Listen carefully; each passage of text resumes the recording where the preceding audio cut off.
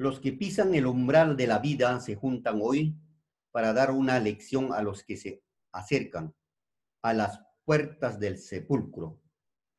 La fiesta que presenciamos tiene mucho de patriotismo y algo de ironía. El niño quiere rescatar con el oro lo que el hombre no supo defender con el hierro. Los viejos deben temblar ante los niños, porque la generación que se levanta es siempre acusadora y juez de la generación que desciende. Jóvenes, eh, una vez más nos encontramos para desarrollar tema 5 de la literatura peruana.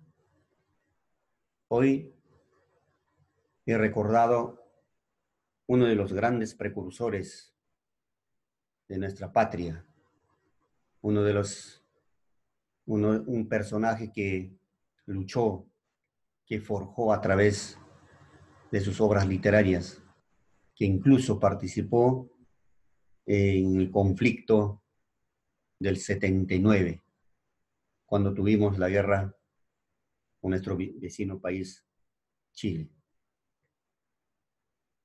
Hoy hablaremos de una escuela literaria que de algún modo eh, tiene importancia para nosotros, ya que hubieron representantes que de alguna manera abrieron los ojos a los peruanos.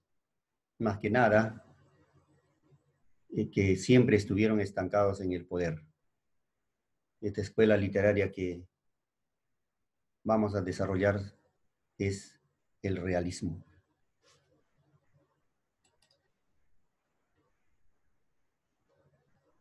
Los viejos a la tumba y los jóvenes a la obra. Manuel González Prada.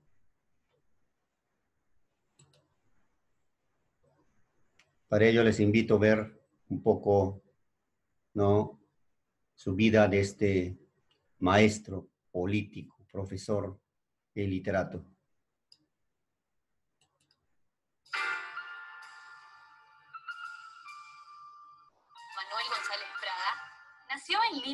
5 de enero de 1844. Su padre, Francisco González de Prada, ocupó la vicepresidencia de la República durante el régimen del presidente Chenique. Su madre fue Josefa Álvarez de Ulloa. Fue poeta, ensayista, ideólogo, periodista y político. Es considerado uno de los mejores ensayistas nacidos en el Perú. Él se definió también desde su juventud como un político de ideología próxima al anarquismo.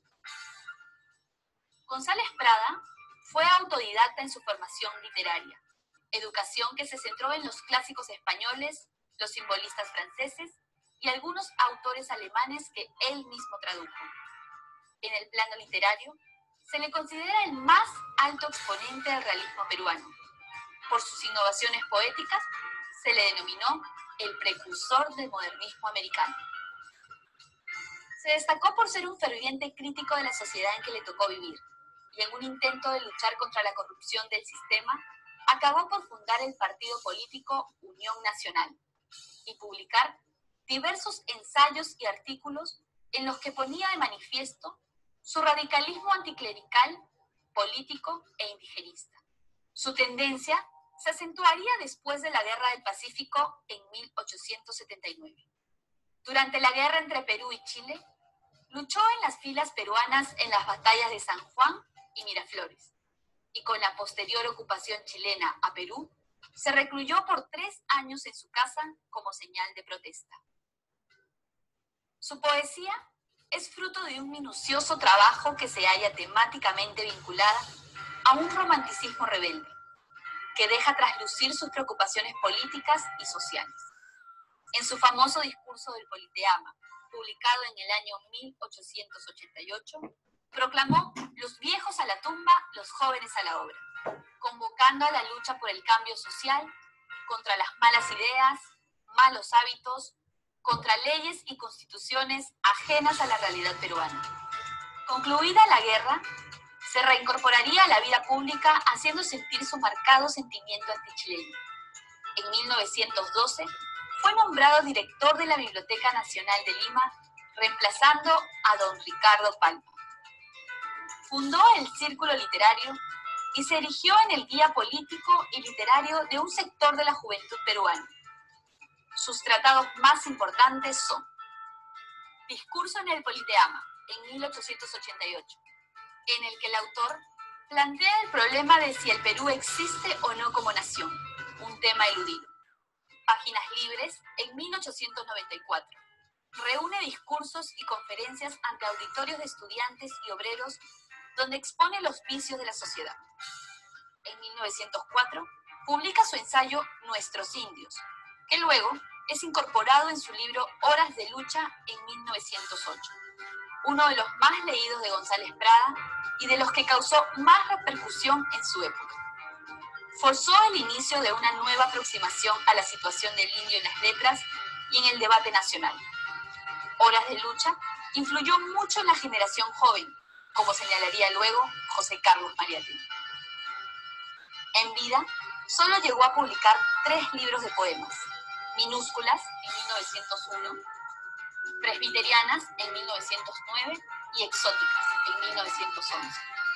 Póstumamente, aparecieron otras obras, algunas de estas son Trozos de Vida en 1933, Baladas Peruanas en 1935, Grafitos en 1937, Adoración en 1946, donde resalta el amor a su esposa Adriana Berneul, que se incluye dentro de la temática erótica de la poesía pradiana. Manuel González Prada falleció en Lima el 22 de julio de 1918, registrando un importante sitio en la literatura y en la política del Perú.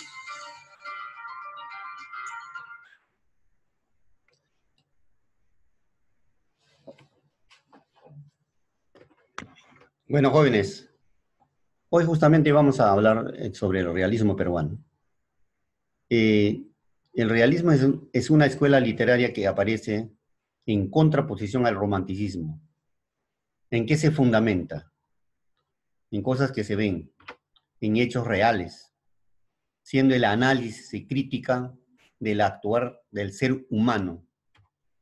Aproximadamente tiene sus inicios en 1875 durando hasta 1900, siendo uno de los motivos la guerra con Chile.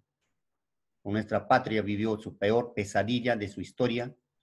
En base a este hecho, los autores realistas levantaron ánimos sobre los escombros, ¿no? Hicieron un análisis y planteamientos políticos doctrinarios, cuestionó el sistema imperante y criticó del comportamiento de los caudillos militares de aquel entonces.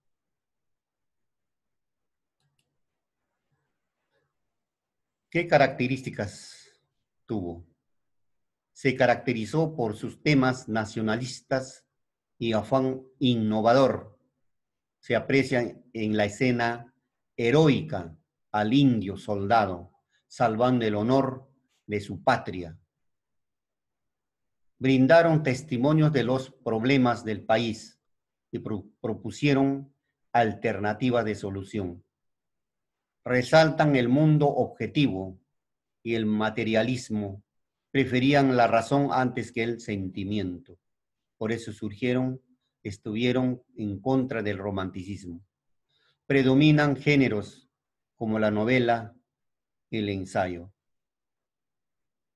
Y Aquí quiero aclarar, jóvenes, jóvenes estudiantes. Dice, aprecia en la escena heroica al indio soldado, salvando el honor de su patria. ¿Qué quiere decir esto, jóvenes? ¿Eh? Según de algunos que hemos leído la historia del Perú, así como los, los escritos de los ensayos de este gran maestro Manuel González Prada, nosotros perdimos la guerra con Chile por nuestra ignorancia. Fue nuestra ignorancia, más que nada en nuestras autoridades, para que los chilenos fácilmente nos ganasen la guerra. ¿Por qué? porque el verdadero peruano fue excluido de la guerra. No quisieron hacer participar en la guerra. Al verdadero peruano, ese hombre del Ande, ¿no? Siempre ha sido considerado por aquel entonces un ignorante que solo sirve para arar la tierra. Eso fue una de las causas que nosotros, ¿no? Perdimos la guerra con Chile.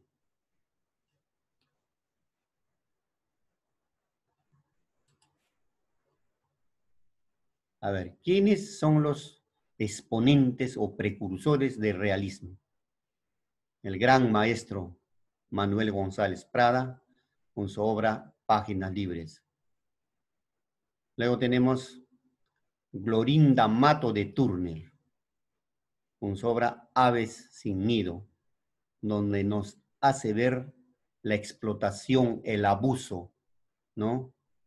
A los hermanos, a nuestros hermanos campesinos.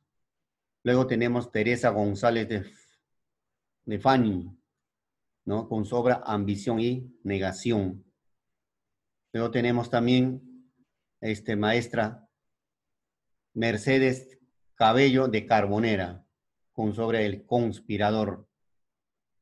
Y tenemos Alberto Gamarra, 100 años de vida perdurarían. Jóvenes, este fue el realismo peruano. Más que nada, aquí hay que rescatar el trabajo del gran maestro Manuel González Prada, de Clorinda Mato de Turnos, quienes abrieron los ojos a los peruanos, más que nada a los jóvenes, para de algún modo para poder cambiar el pensamiento, ver de frente a nuestro país, practicar el patriotismo. Nos deja un legado, ustedes como jóvenes tienen que ser patriotas, amando al Perú.